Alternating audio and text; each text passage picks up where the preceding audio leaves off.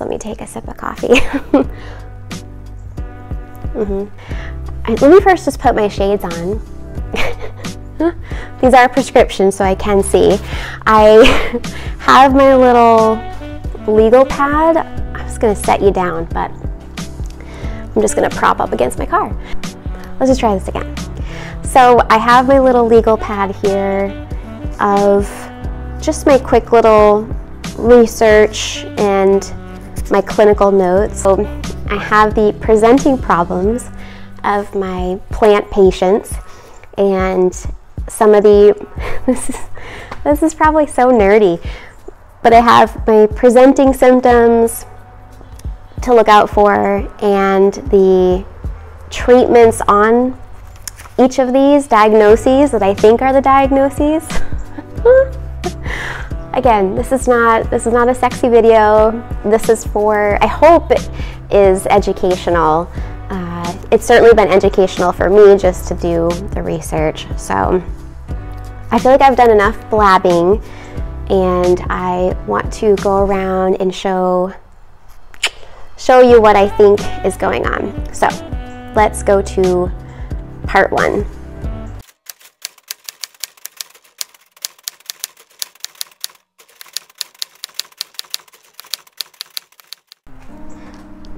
But first, the all important coffee. Coffee shot. Right? Okay. So here we are at patient number one, which is my lilac tree. But first, I need to break for beautiful Willow in the door. Look at her. Hi. She's just the sweetest. Hi, baby patient number one. This is my lilac tree and from the bottom up it looks quite fine. You wouldn't really notice anything that's going on and I did work on limbing up this tree. Limbing up just simply means cleaning up any of the suckers at the bottom of the plant, uh, creating airflow so You'll see this is a pretty small space. This doesn't look like this hydrangea tree has been limbed up because it is so heavy with the blooms on top, but it is. I think that's one way to help to prevent disease or spread of disease is by promoting air circulation and removing any leaves or foliage at the base of the plant where a lot of moisture is retained and can form a lot of diseases or fungi which could spread to the plant or surrounding plants. However, even with limbing up this plant, and there is a good amount of airflow in here, I did notice if we go to the top, there goes Willow, Look, I don't know how well you can see that, but we have got some yellowing.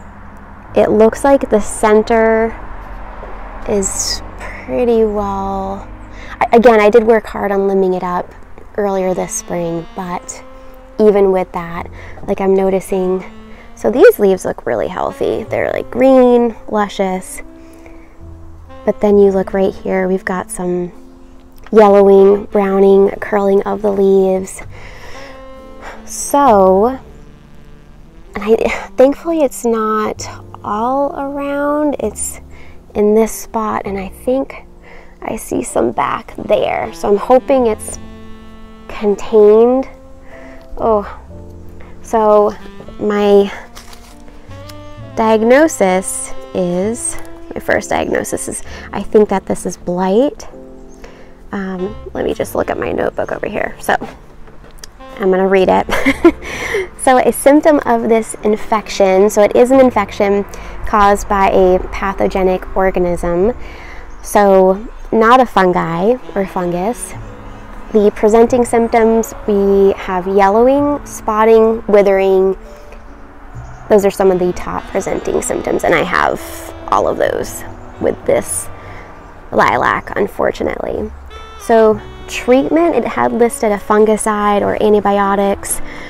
However, I don't want to go that route right now because I I want to try to be as preventative with my treatment measures. So what I'm proposing is I'm going to get my loppers and prune out this infected, the infected um, branches and leaves. And then I'm going to sanitize the heck out of those loppers because I do not want to go ahead and prune and lop all of the infected plant material and then go ahead and use my loppers, say, on my hydrangea tree because that would just spread disease. So I guess the way I'm thinking of it is just hand washing, but for your tools because you don't want to spread disease from patient to patient or from plant to plant.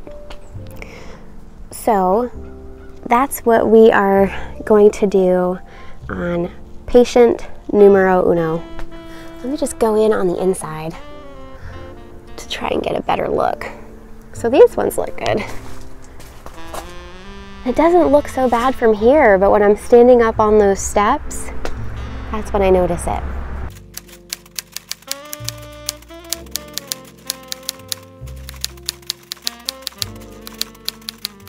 Let's go to patient number two.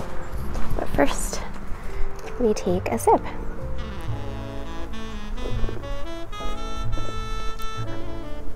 It's a quiet Friday morning. I ended up taking up off the last few days from work. It was my birthday, so I finally get the morning to just go around and really assess my garden. Sometimes we get so busy that we do not have the time. Okay, so this is patient number two. All right, patient number two is my prairie fire crab apple tree. Just got it this spring. These are beautiful specimens. For a background, they are fairly disease resistant to my knowledge. They are very clean crab apple trees, clean meaning that they don't drop all of their fruits like you would commonly see with a lot of crab apples. So I was excited to hear about that. Also, I'm working on providing, uh, getting plants that provide interest all year long. So not just bloom once and look pretty, but we want interest for spring, summer, fall, winter, etc. So winter interest, this will be a great structure. Fall interest, the leaves turn this bright, beautiful red just like the name Prairie Fire. Spring, there's beautiful, bright pink, fragrant flowers, stunning. And summer, it just looks beautiful. So there's the little breakdown. And it only will get 8 to 10 feet tall. So I'm hoping to prune it, have it just be a very nice structure for this garden, but not too shaded for the area that I can't have any underplanting survive. So Anyway, enough about this beauty. I don't know if you can see those little cobwebs too. We're gonna give her a rinse down. Okay, so I was inspecting this tree, and it's always good to inspect your leaves. So, you guys see that? Yeah, okay, so we have on the top some reddening a reddening spot to the leaf. And then if you flip it over, we have some growth. Whoops. Let me see. I'm going to try and get closer to this tree without damaging the other stuff I've got going on. And, whoa, this is tricky when you're trying to do it with two hands. Okay, here we go. Okay, so you can see that there's some reddening and then also these projections coming out of the plant. And if you're a anatomy nerd, think of it like the cilia, I think. That's how my mind goes, the cilia. Yeah, yeah these are little hairs within the body. Um, anyway, I'm probably going a little too far into that, but or like little phalanges. Yeah, look at that. Anyway, so if we break out my little notepad, my diagnosis for this guy is what is known as cedar apple rust. I'm to call it crab apple rust. So it's apparently very common, and now that I'm looking at it again, I see another. There's another, there's another one back there. But it's very common it's a fungus or fungi and it rarely causes damage. So symptoms are leaf spots. Sometimes they start out yellow and then turn red like this one. And the little growth-like spots are underneath the leaves as we'll see here. That's underneath the leaf and it's released by spores. So typically like after it rains, anything like that, the rain will cause the spores to spread and fly. Um, treatment is typically with, I think, a fungicide as well, but you can also use copper and sulfur only if you do not plan on eating the crab apples. I think for this one, if it's not causing the leaves to fall off and die, there's no damage to the tree itself. It looks very healthy otherwise and because it sounds like it causes very little damage, if any, we're just gonna watch and wait this one. I started to pick off some of the leaves and then put it in this pile that I will have taken away, or we're gonna take it away, that will not be composted because what you don't wanna do is prune out all of this infected material and then go ahead and compost it. Because then if you were to use that for future gardening, you're just going to have those spores spread all throughout your garden. So we're not going to do that. Anything we cut out, we're going to take away. You just monitor, watch and wait, and just keep my fingers crossed that the fungus doesn't start to spread and cause any damage. I don't think it will just because from what I was reading, it's not common that it will. But if you were ever curious what to look out for, look for that. Eee. Oh boy, there's the money shot. Okay.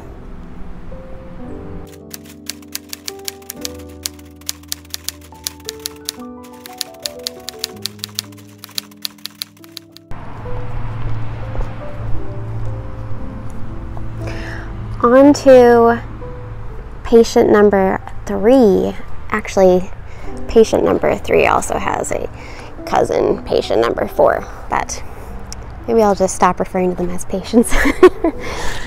so here we go. Okay. This I, I know pretty well actually. So from last year I started to grow pumpkins and started to notice these white spots white grayish spots on the leaves. Let me try to get a good one. So you can see, whoops, there's some starting to develop and then there's a little bit more and then more. Don't judge me or pay attention to that pumpkin in the back. I tried to do an experiment this year to grow a pumpkin in a pot they just need a lot more attention and nutrients than I could give give them. So yikes. Oh, I think that one's past saving. But the pumpkins that are in the beds, these are doing great, minus the powdery mildew. But that is extremely common for cucurbits. Is that the right pronunciation? Essentially, pumpkin, squash, watermelon. Uh, what else did I have on there? Let me go to my notepad. Whoops, let me go back a page. Okay. Yep, gourds. Okay, so powdery mildew is a, another type of fungal disease and the way it presents itself are the spotting, so the white grayish spotting, and then will spread throughout. It uh, is quite common in a couple of different climates. This was surprising to me that it also appears in dry, warm climates. I thought it would only be in areas that get a lot of rain and are really damp. However, if you live in a dry, warm climate that has a higher humidity level, you may find that some of your plants are prone to powdery mildew. So, where it can start to present itself is with overcrowding, as you'll see. I did it to myself, unfortunately, because I, if you'll see, I do have a small space and I get kind of selfish and want to try and cram in as much as I can. So if you do plan to plant pumpkins or squash or watermelon, gourds, things like that, don't do what I did and make sure that you have enough space between each plant. Oh, there's a plane going overhead.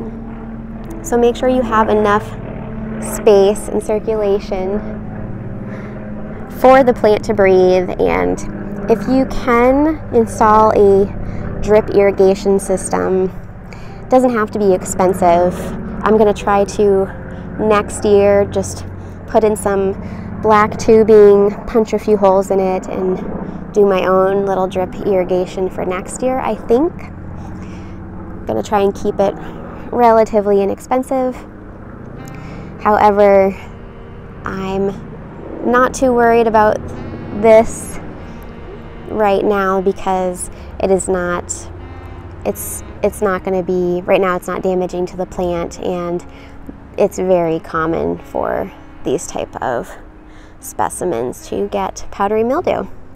So at least in my area it is. So and it doesn't damage it can damage the fruit if it's severe severe but this is just very minimal right now. So that is what's going on for patient number three.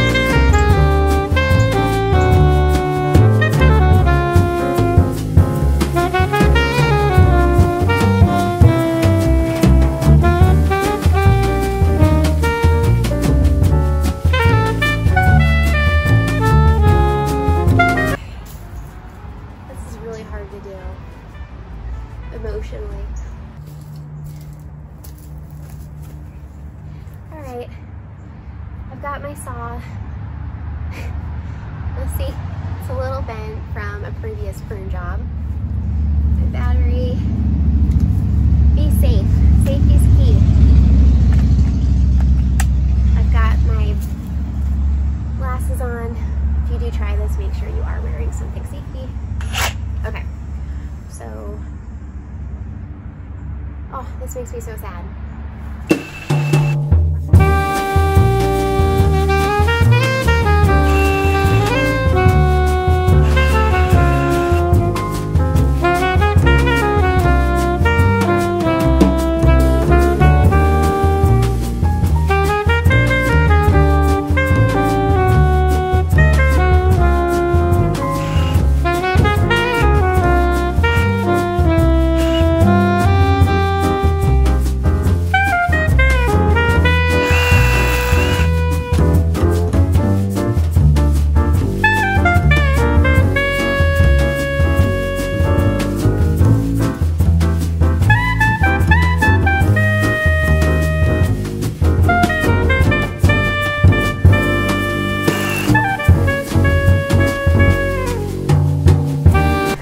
Right, guys. I think I'm almost done. I think I have one more branch to take out.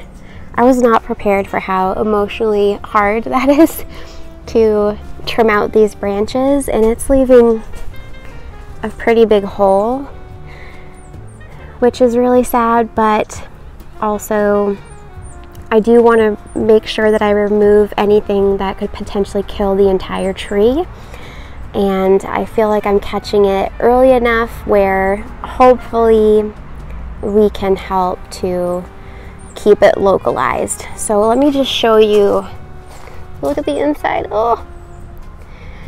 So I'll just show you how I've been checking to see if I've gotten the hole. Oh dear. oh dearie. Okay, well, you'll see, so this foliage is still pretty dark and green on the right hand side. We still have a little bit of yellowing left. I think just maybe that one. See the, the curling and browning of the tips.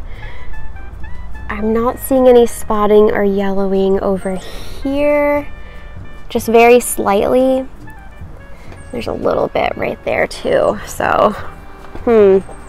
I think I'll just take off that one branch there and keep an eye on it. And I don't see any other, but you'll see it's just the center that was hit more with the blight. So I think I just have that one more to do.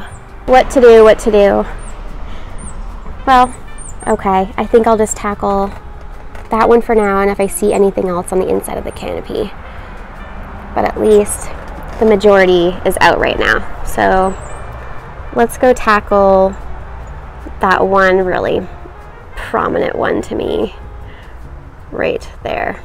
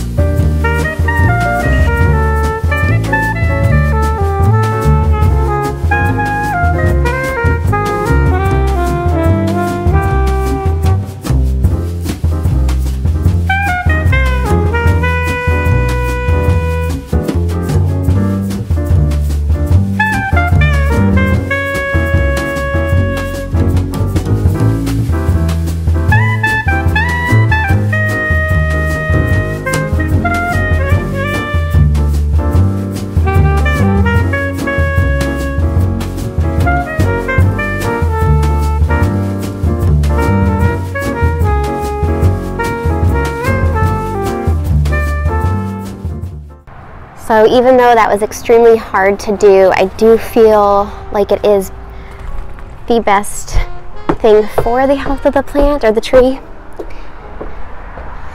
So as you'll see, there is a big hole remaining. However, the majority of the curling, wilted, and spotted leaves and yellowing leaves are now gone. So I'm hoping that we did nip it in the bud and take care of the situation before it really progressed. Because that would be really painful to lose this lilac tree or lilac bush whatever you want to call it. It's so beautiful and I would hate to lose it so unfortunately we must do, uh, do challenging things and difficult things in order to get the results that we're looking for. So have you ever had to do a harsh pruning that was really difficult emotionally, not just physically? This, this was tough for me. So in the first time I've ever dealt with blight or what I suspect is blight, and I would have hated to just let it go and not take some sort of precautionary measure. So here's hoping that new growth will flush in and full, fill in the center. So, and let me fix the flag. Come here. Oh, My short little arms. there we go. Okay. So hopefully we saved her. Now I want to show you the branches that I removed.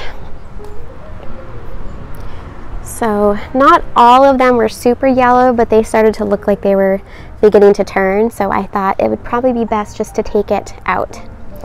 So there's the yellowing leaves with the browning tips. This one was really starting to go and curl.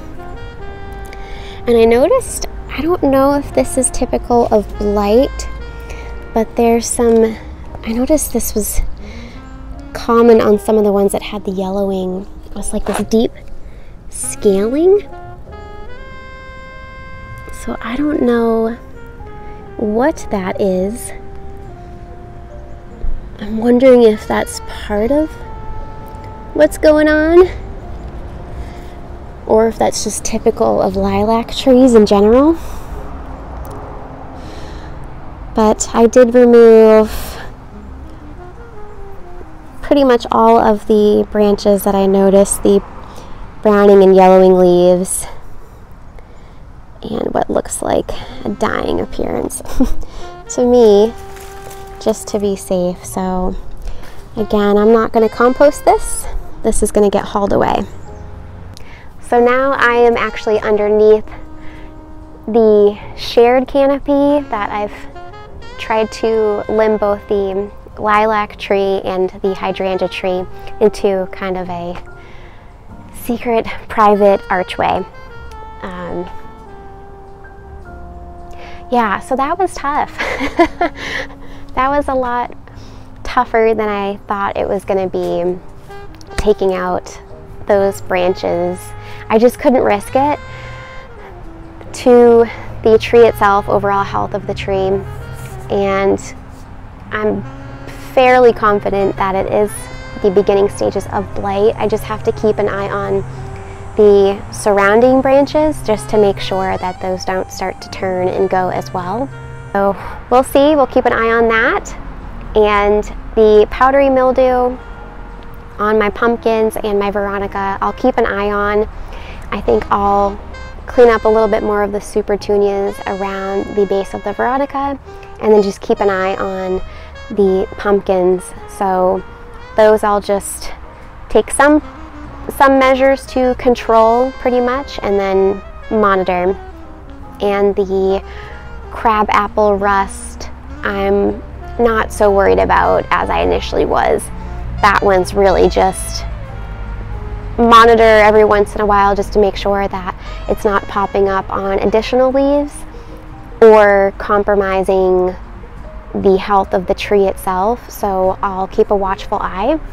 I hope that this was educational. It was for me just to go around and assess the health of my plants and trees and then kind of create a care plan and take steps further to monitor the health of the garden because the garden is a living and breathing organism and I just want to make sure, even though I do have such a small space and a small plot, I want to be a good steward of the garden and keep the health of my plants and wildlife around it in the best overall health I can um, without the use of harsh chemicals and anything that would be detrimental to this little ecosystem that I am lucky enough to be able to garden in. So I could ramble on forever